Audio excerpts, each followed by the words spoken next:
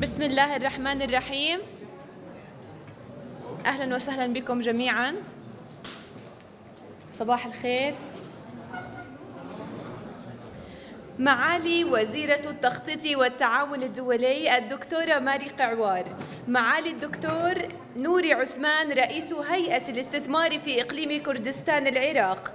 السيدات والسادة الضيوف الكرام مع حفظ الألقاب. أسعد الله صباحكم بكل الخير والسرور. نشكركم على حضوركم وتكبدكم عناء السفر من كردستان العراق وبقية الدول إلى بلدكم الثاني الأردن الذي يرحب بكم دائما. فأهلا وسهلا بكم جميعا.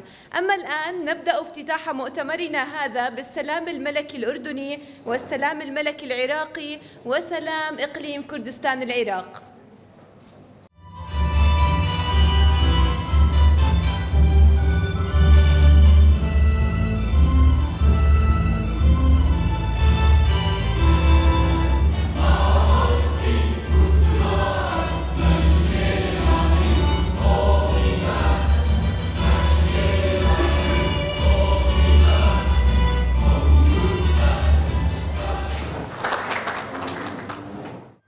انطلاقا مما شهدته الحركة الإعمارية والاستثمارية في إقليم كردستان في العقد الأخير من تطور ملحوظ في المجالات الاستثمارية والإعمار والسياحة والزراعة وفي قطاعي التعليم والصحة والأمن الغذائي وحقوق الإنسان. مما دفع بالعديد من الدول العالمية المؤثرة في التفكير الجاد بالاستثمار في هذه المنطقة الجغرافية الهامة والغنية بالموارد الطبيعية كالنفط والغاز واليورانيوم. ناهيك عن جمال الطبيعة الخلابة الصالحة لأجمل مشاريع سياحية في الشرق الأوسط. وقد سارعت الشركات النفطية العالمية منذ التغيير السياسي في العراق عام 2003 للاتفاق مع حكومة إقليم كردستان من أجل الفوز بالعقود الكبيرة فيها. اللي موجود على بعد 200 مليار واليوم بدأ الإقليم يستعيد عافيته بعد الحالة الاستثنائية التي مر فيها خلال الأعوام الأربعة الماضية. وقد آن الأوان اليوم للشركات العربية والعالمية في التفكير الجاد والمسؤول في الاستثمار في الإقليم وذلك للعوامل التالية.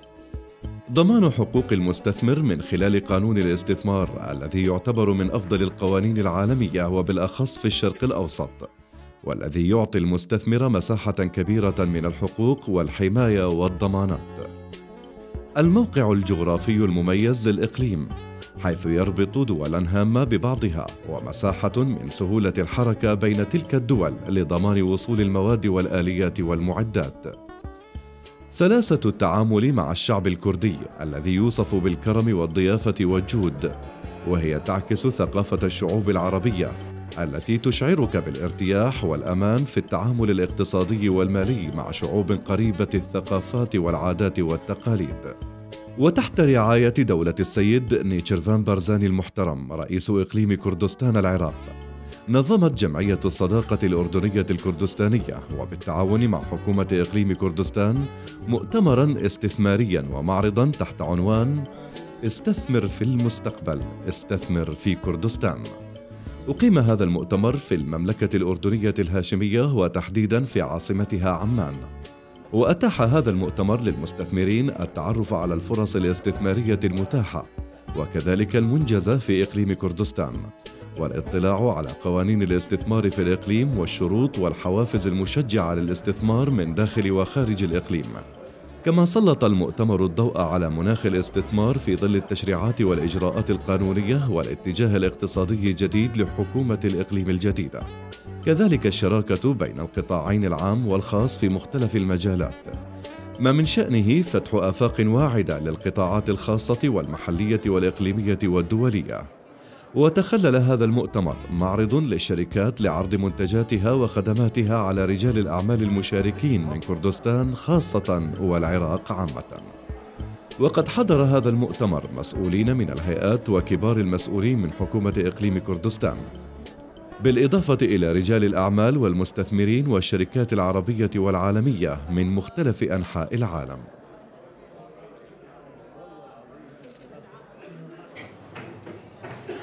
في هذا اليوم نسطر أروع الأمثلة في متانة العلاقات الأخوية بين الأردن وإقليم كردستان العراق التي من شأنها تحفز الاقتصاد وتخلق مناخا آمنا للاستثمار وتبادل الخبرات والشراكات.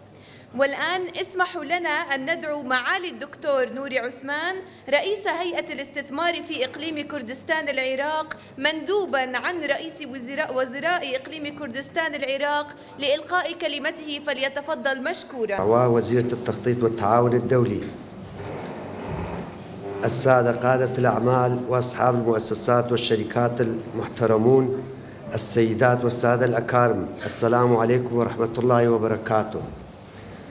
يسعدني ويشرفني نيابة عن دولة رئيس حكومة إقليم كردستان السيد نيتشيفان بارزاني وأصالة عن نفسي أن أتواجد اليوم مع حضراتكم في هذا البلد العزيز. واسمحوا لي في هذه المناسبة أن أستهل كلمتي بتوجيه الشكر والتقدير لجلالة الملك عبد الله الثاني عاهل المملكة الأردنية الهاشمية. كما أود أن أشكر حكومة المملكة لاستضافة هذا المؤتمر وأشكر جمعية الصداقة الأردنية الكردستانية وكل من شارك في تنظيم هذا المؤتمر. إن أهمية انعقاد هذا المؤتمر في هذا الوقت من مرحلة ما بعد داعش تأتي من كونه يمثل تمهيدا جيدا لتهيئة أرضية مناسبة وخلق خلق أجواء ضرورية من التفاهم والتقارب المشترك لوجهات النظر وتكوين رؤية واضحة وواقعية مشتركة من أجل المساهمة الفعالة في تحقيق إنجازات من شأنها أن تدفع بعجلة التطور والتنمية الاقتصادية إلى الأمام وتحقيق المصالح المشتركة. لقد كانت للتجربة الرائدة للمملكة الأردنية في شتى المجالات محط أنظار حكومة إقليم كردستان وأن العلاقات التاريخية المشتركة بين جلالة الملك الحسين بن طلال وبين الأب الروحي للشعب الكردي مصطفى البرزاني رحمهم الله تعالى وامتداد وتعزيز تلك العلاقات بين جلالة الملك عبد الله الثاني مع الرئيس مسعود البارزاني والتقارب الكبير في مجالات التراث والثقافة المشتركة بين الشعبين الأردني والكردي. كل ذلك كان كفيلا أن تكون العلاقات أكثر عمقا بين حكومة المملكة وحكومة إقليم كردستان كما جعل الثقة متبادلة أكثر ثباتا والاتصالات أوثق بين الجانبين. ولا شك أن وقوف الأردن في صف المجتمع الدولي وإسهامها الفاعل في محاربة داعش ضمن إطار التحالف الدولي والحفاظ على السلام والاستقرار في المنطقة كان له بالغ الأثر في كسب الاحترام الدولي وترسيخ علاقاتها مع دول الجوار سيما أقليم كردستان. لذلك فإننا نعتز بتلك العلاقات وأهميتها بين الجانبين ونسعى جاهدين إلى تطويرها وتعزيز التنمية الاقتصادية والاجتماعية في شتى المجالات.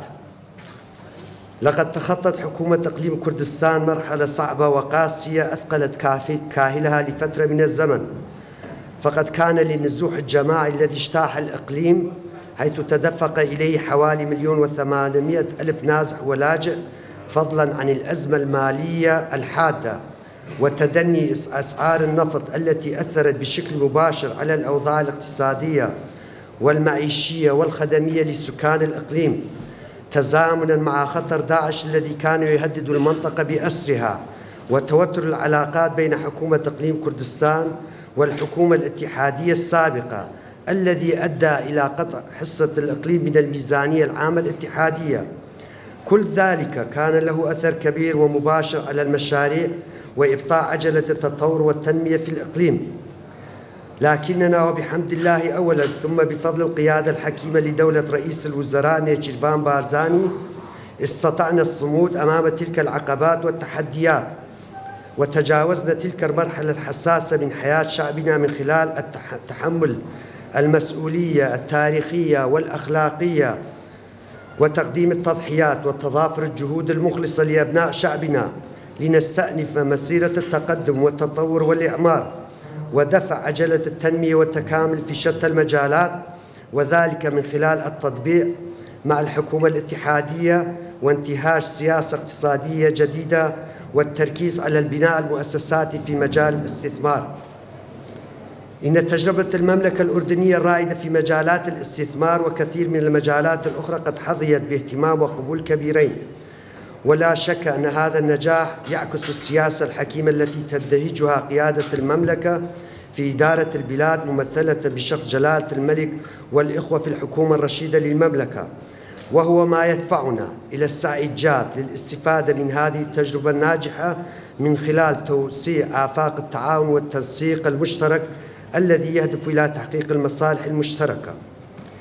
إن أحد مشاريعنا الأساسية في هيئة استثمار إقليم كردستان هو إعداد الخارطة الاستثمارية لإقليم كردستان وتبني استراتيجية مدروسة ومحكمة في تطوير هذا المجال بشكل إيجابي ونوعي وتكاملي. وإننا نتطلع إلى التنسيق والتعاون مع مع حكومة المملكة الأردنية الهاشمية وإلى الشركات الأردنية العاملين في ضمن هذا المجال تحديداً.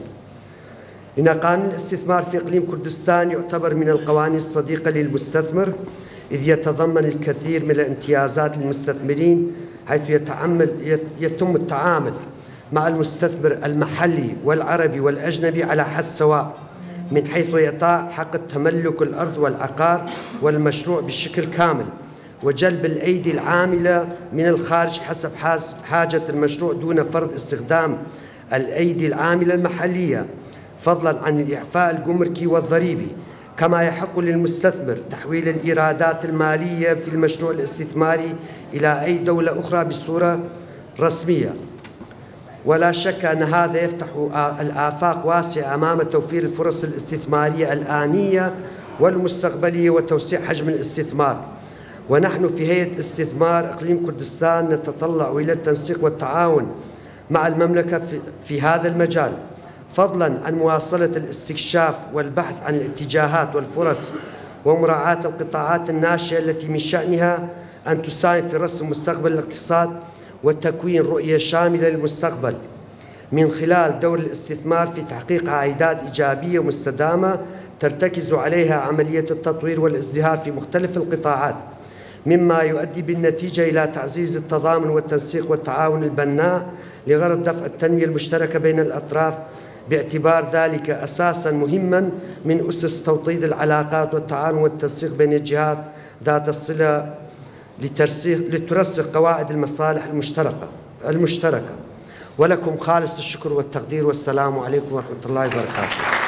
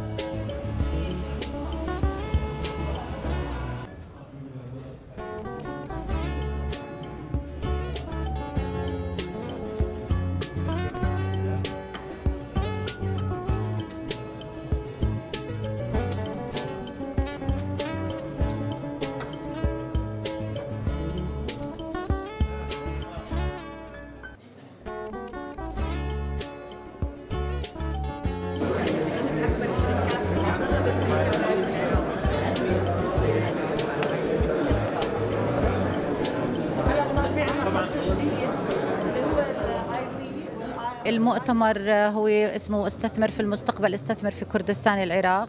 أقمنا حتى نجيب مشاريع لإقليم كردستان العراق لأنه إحنا جمعيتنا جمعية الصداقة الأردنية الكردستانية هي متخصصة كل ما ممكن يفيد الأردن وإقليم كردستان العراق. إحنا أنا شايفيها شوية خجولة وإحنا حابين نكون لنا الدور إنه نخليها تصير أكثر وأكبر. حاليا إنه هي إنه ما نحكي إنها متوسطة بس بنطمح إنها تكون أكثر خصوصا إنه علاقتنا إحنا قوية جدا مع الإقليم والشعوب كثير متقاربة فإنه ضروري يكون في أكثر كمان. إحنا هاي المؤتمرات انشأناها حتى نفتح قنوات ونعمل جسور أكبر لأنه يصير هذا التعاون. في عندنا نشاطات رهيبة راح تكون يعني هاي مميزة وأول مرة بعلن عنها اللي هي رح نعمل بر... سلسلة برامج وثائقية عن إقليم كردستان عن شخصية ما رح أحكيها وعن عن السياحة في إقليم كردستان من عدة مناطق سليمانية ودهوك وأربيل. إن شاء الله رح يكون للإنسان حضور وللمكان وللتراث. مرحبا معكم بانا الصعوب. إحدى ناشطات الجمعية الأردنية الكردستانية. آه، جمعية الصداقة الأردنية الكردستانية هي إحدى جمعيات منظمات توطيد العلاقات بين الأردن وبين آه، كردستان. وهي بتساعد على توطيد التآخي والعلاقات خاصة علاقات الاستثمار في كردستان. وإحنا هلا بمؤتمر جدا مهم آه، مؤتمر اللي هو بيعمل بيساعد على توطيد الاستثمار بكردستان. وإنه كيف الاستثمار في كردستان هو عبارة عن استثمار للمستقبل لأنه آه، معروف كردستان هي من أكثر المناطق اللي فيها استثمار وفيها نشاط استثمار كثير كبير. حضرتك زرتي أكيد إقليم كردستان. شو رأيك بإقليم كردستان؟ طبعا زرتها أكيد زرتها مع العيلة وجدا جميلة وكثير حلوة وإن شعبها طيب وكثير ناس مناح. مرحبا اسمي زينب من شركة مزايا. مشتركه هون بمعرض آه، استثمر في المستقبل. هلأ آه، إحنا من شركة مزايا عم نعرض آه، منتجات جديدة مطلعيتها مزايا اللي هو معسل بنكهات جديدة. عم عم نعرضها بالمعرض. كيف شفتي حجم الاستثمار تبعكم بإقليم كردستان؟ وبتلاحظي إقبال للمواطنين على معسل مزايا بإقليم كردستان؟ وبتطمحي إنه يزيد الاستثمار؟ أكيد إن شاء الله. هلأ في كثير إقبال من المواطنين الموجودين بكردستان على معسل مزايا بشكل كثير كبير. ومبسوطين إحنا من هذا الشيء طبعا كثير وعم نطمح إنه يكون أكثر استثمارات إن شاء الله في المستقبل بكردستان.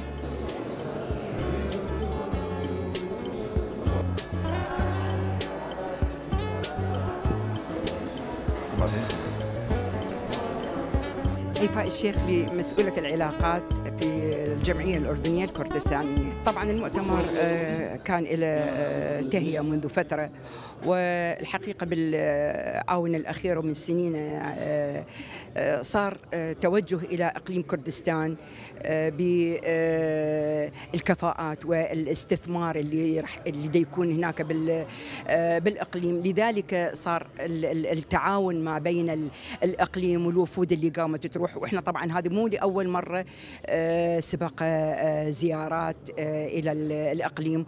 وكانت هناك أيضا وفود طبيه روح فحتى نخلي نحسس إنه إنه الأمة العربية وبالنسبة إلى الإقليم يعني القرب وحالة التفاعل وحالة التعاون وحالة الاستثمار وبالأخص هسه الآن الإقليم بصراحة. يعني يعني أشكر قناتكم لكون يعني صارت لنا فرصة إنه نتحدث. الإقليم الآن بدأ يخطو خطوات جدا راقية جدا رائعة.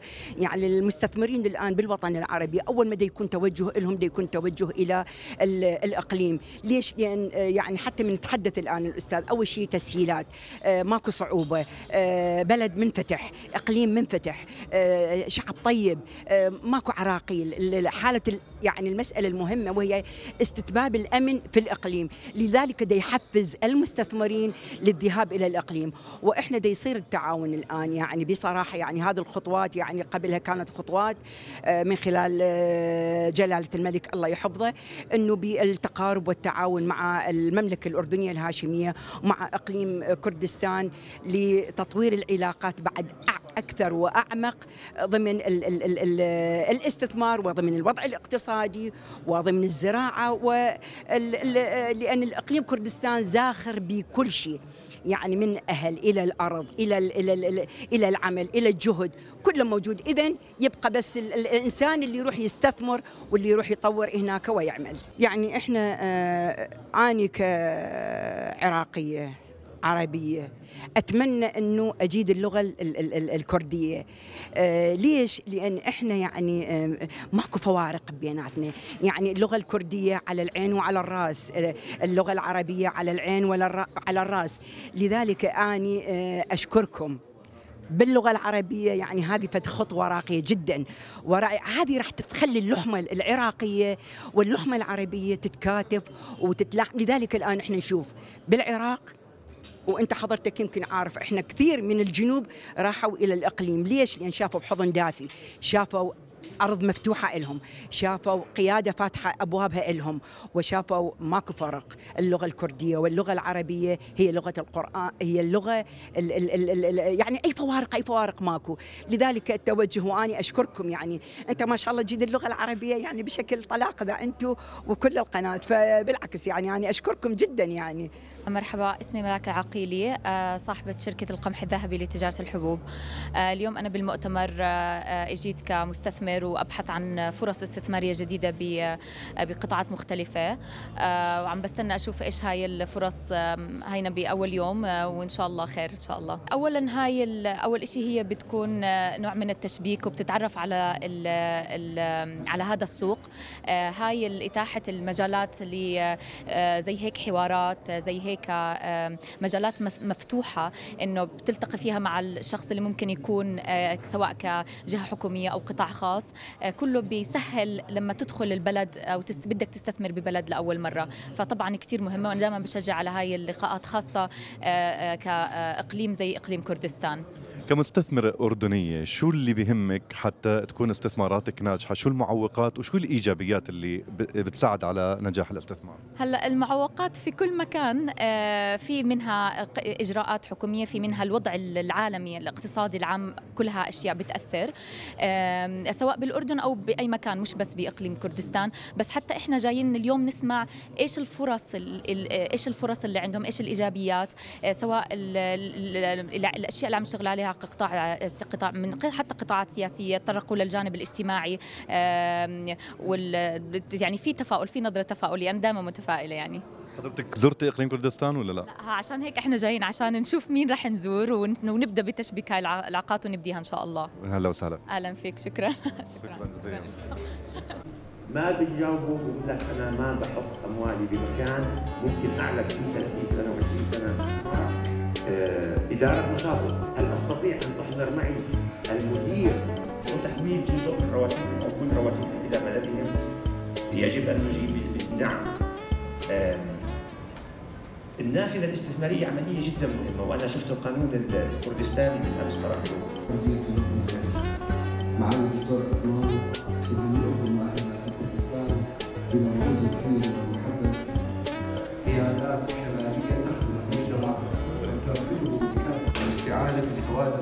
التدريسية ذات الحضور العلمي والفعال مرحبا اسمي رنين آه، بعمل promotion من لشركة الجدوى الملابس آه، في مؤتمر آه، استثمر في المستقبل استثمر في كردستان شو رأيك بفكرة هيك مؤتمرات؟ إحنا بحاجة لهاي المؤتمرات عشان نقوي الاستثمار في كردستان. أنا اسمي جوفار محمد حما شريف مهندسة في هيئة الاستثمار آه، في دائرة الترويج والتقييم وإجازة المشاريع. التجربة كانت كلش حلوة وكان آه، في آه، تقرب بين جهتين الحكومة إقليم الكردستان والمملكة الهاشمية الأردنية. والحمد لله أكو تقبل المشاريع الاستثمارية في كردستان والدولة الهاشمية الاردنيه مهتمة باستثمار في إقليم الكردستان. أقليم الكردستان آه، في آه، عنده مناخ مناخ آه، سياسي آمن يقدر أي مستثمر يقدر يشتغل بكردستان. زور سباسي تلفزيون أكتانا كين اما وفدي خومان كلا هرمي كردستان وهاتون ما ويدو روجا ليرين بو بجداري لمو كوربندا كلا سر ابوري وبرهنانا هیوادارین ببێتە مای نزیک بوونەوە و کردنی کاری باش بۆ کوردستان لە ڕێگەی وەبرهێنەرانی ئوردونی و کاری وەبرهێناری کوردستانیش لە دەوڵەتی ئوردنی هاشمی.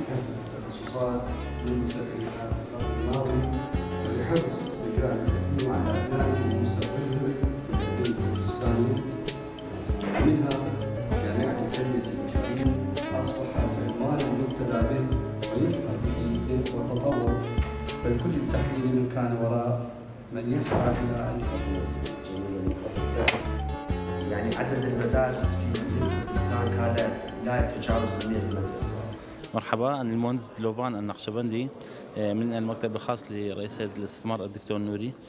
آه، شاركنا كوفد حكومي لمدة يومين بعمان آه، في مؤتمر نظمته جمعية الصداقة الأردنية الكردستانية لعمل شراكة حقيقية من ناحية الاستثمار بين آه، دولة آه، المملكة الأردنية الهاشمية وأقليم كردستان العراق. طبعا كانت مشاركة فعالة. شخصيات بارزة وشاركوا في المؤتمر. من ناحيتين من إقليم كردستان العراق ومن المملكة الأردنية الهاشمية مع مشاركة مجموعة من المستثمرين من كلا الطرفين إن شاء الله تكون في توصيات وفي اقتراحات زينة ونتائج إيجابية كل زينة إن شاء الله.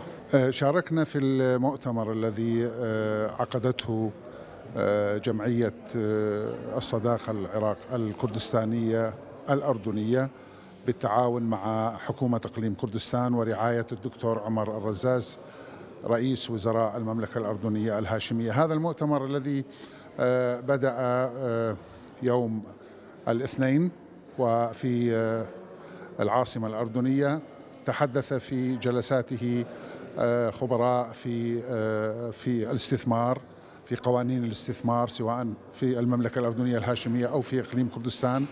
تحدثوا عن آفاق التطور ما بين الإقليم وما بين المملكة الأردنية الهاشمية آه، آه، خاصة فيما يتعلق آه، بالتعاون التعاون الاستثماري. في هذا المؤتمر تحدث أيضا معالي الوزير الدكتور نوري عثمان سنجاري حول آفاق التطور ما بين تطور العلاقات السياسية والتجارية. لكنه آه، آه، ركز على جانب بأن الإقليم الآن آه، بأمس الحاجة إلى استثمارات وخاصة مع الأردن الذي كمملكة يتشابه كثيرا مع الإقليم سواء من الناحية الاجتماعية أو من الناحية الصناعية والزراعية وهناك مجالات واسعة وآفاق رحبة لمثل هذا التعاون. آه، دكتورة فيان الجاف مدير عام التخطيط في وزارة الصحة في إقليم كردستان. آه، الشكر موصول جمعية الصداقة الأردنية الكردستانية لقيامها بتحضيرات بالتحضير لهذه اللقاءات الهامة بين الطرفين الطرف الأردني وطرف آه، الوفد الرسمي لإقليم كردستان برئاسة السيد الوزير رئيس هيئة الاستثمار الدكتور نوري عثمان. الحقيقة كان النقاش جدا مفيد والحاجة حاجة الإقليم لمستثمرين من أردنيين في مجالات معينة فيما يخص الزراعة والصناعة والاستثمار والسياحة والصحة ومجالات أخرى أيضا تم المناقشة عليها وتم تعريف بعض القوانين القوانين اللي تمنح اللي هي من طرف فائدة المستثمر ولتحفيزه على القدوم لإقليم كردستان. من أجل الاستثمار في هذه المجالات. الحقيقة أنا في رأيي أنه هذه المؤتمرات وهذه اللقاءات ضرورية ولكن الضروري أكثر أنه مجيء الجانب الأردني والمستثمرين الأردنيين إلى إقليم كردستان. تعرف أنه إذا يشوفون واقع الحال يكون أفضل لهم ويشوفون الواقع الأمني ومباشرة يتكلمون مع المعنيين والأصحاب رؤساء الأموال والمستثمرين الآخرين في إقليم كردستان يكون أفضل. آه، الشكر طبعا لقناة زاغروس ومن آه، الضروري أنه أكثر القنوات الرسمية في إقليم كردستان أنه يكون عندها قناة باللغة العربية آه، لتعريف تعرف إحنا إقليم كردي كردستاني في منطقة محيطة بالعرب وبدول عربية وفي باقي أجزاء العراق لكي يتعرفوا على ما يحدث في إقليم كردستان على التطورات على حتى على المشاكل وعلى ما يحدث داخل الإقليم. والأفكار التي توصل للشعب الكردستاني توصل أيضا للشعب اللي آه، لغته الرسمية هي اللغة العربية فأحسنتم في اختيار اللغة العربية لقناة زاغروس